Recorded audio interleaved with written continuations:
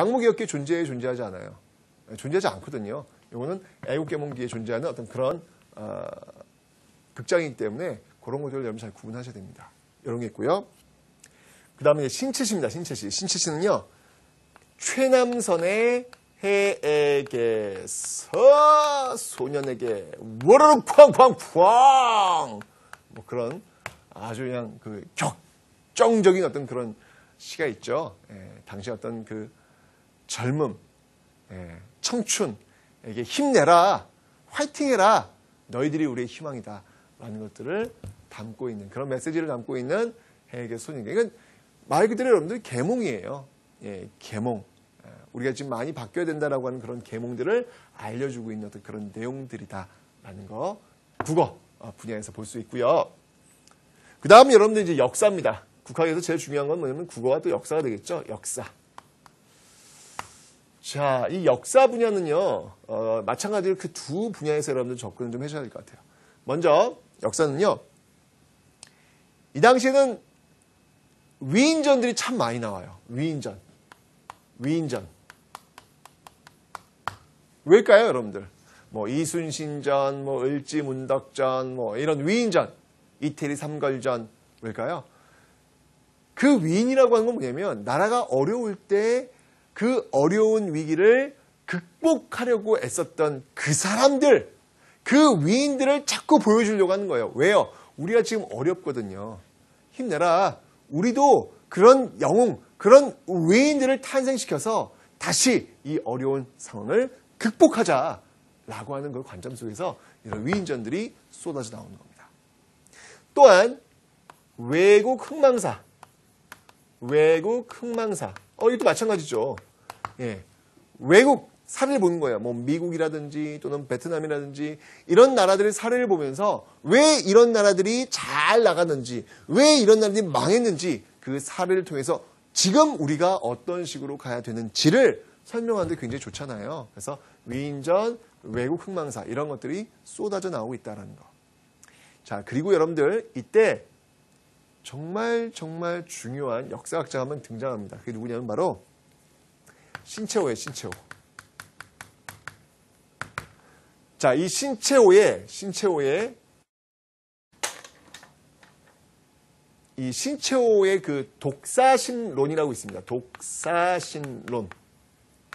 네. 이 독사신론은요, 이 독사신론은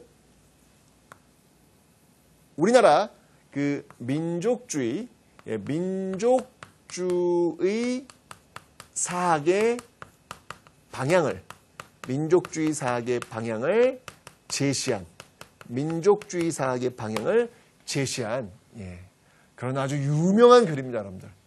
그러니까, 일제 강점기 가면 여러분들 이제 또 배울 거예요. 일제 강점기 가면은 그 민족주의 사학을 배울 거거든요. 그런 민족주의 사학, 이제 일제 강점기 등장하는 그 민족주의 사학의 어떤 나아가야 될 그 방향성 있잖아요. 그 방향성을 바로 이 신채호의 독사 신론에서 아주 잘 보여주고 있다 라고 하는 걸 여러분들 꼭 기억하시라는 얘기예요. 됐죠? 그러니까 애국계몽기에 나와야 될 것들이 지금 나오고 있는 겁니다. 계몽, 나라가 지금 넘어가고 있는 상황 속에서 나와야 되는 그 계몽의 어떤 주제들을 갖고 지금 여러분들 지금 확인하고 계신 겁니다. 됐죠? 자, 다음은 여러분들 종교 활동을 한번 살펴보도록 하겠습니다. 종교.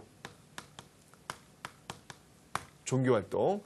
자, 먼저 음, 천도교부터 한번 살펴볼게요. 천도교.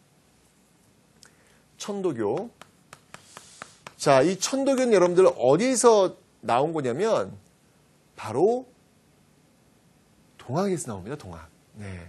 이 동학이 이름을 바꿔요. 왜냐하면 참 그 반외세, 반봉건을 외치면서 그 어, 1894년 그 충청도 전라도 일대를 정말 흔들어 놓았던 이 동학농민운동 그 동학의 그 자녀 세력들이 뭐 활빙당으로 가기도 하고 계속 의병투쟁으로 가기도 하고 했지만 또 일부 세력들은 상당히 친일화되는 모습. 야 이거 참 아이러니죠 여러분들.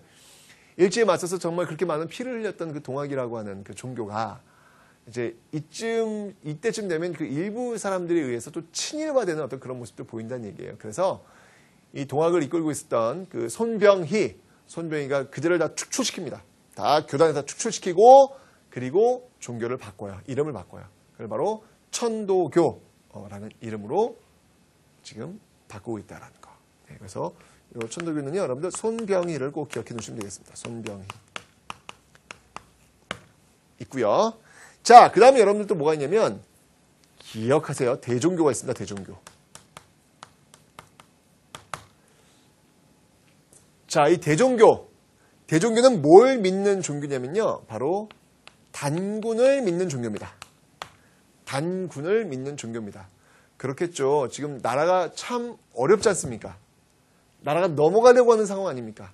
이런 상황 속에서 바로 우리 민족의 출발점이라고 할 수 있는 이 단군, 이 단군을 굉장히 강조할 수밖에 없는 그런 모습이 나타나겠죠. 단군. 자, 여기서 이 대종교의 단원들, 뭐, 이 세운 사람이 누구였냐면 나철이거든, 나철.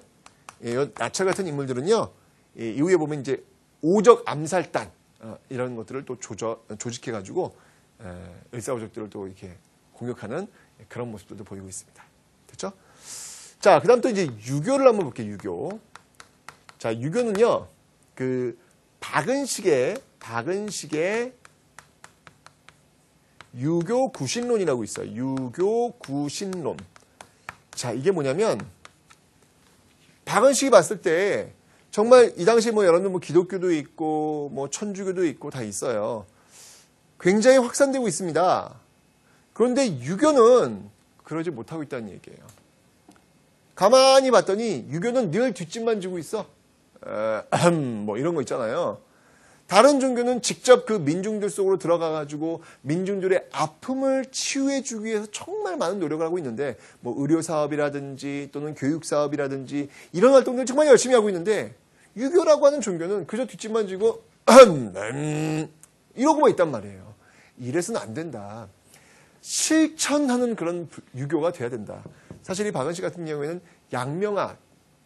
자, 여러분들 우리 양명학 떠올, 떠오르시죠? 조선 후기의 그 성리학의 절대와 경향, 이 성리학의 절대와 경향에서 여기에 대한 대안으로 등장한 게 양명학이라고 제가 설명을 드렸습니다. 양명은 뭘 강조하는 거예요? 네, 실천을 강조하는 겁니다. 그죠? 실천을 강조하는 거예요. 자, 이 실천을 강조하는 양명학, 그 계보가 강화학파로 연결된다. 정제도 어, 나온다 그랬죠? 그 또 계보가 어디로 연결되냐면 바로 이렇게 박은식. 이 박은식은 실천 유교, 실천 유교를 강조하고 있다라는 거 기억해 두시면 되고요.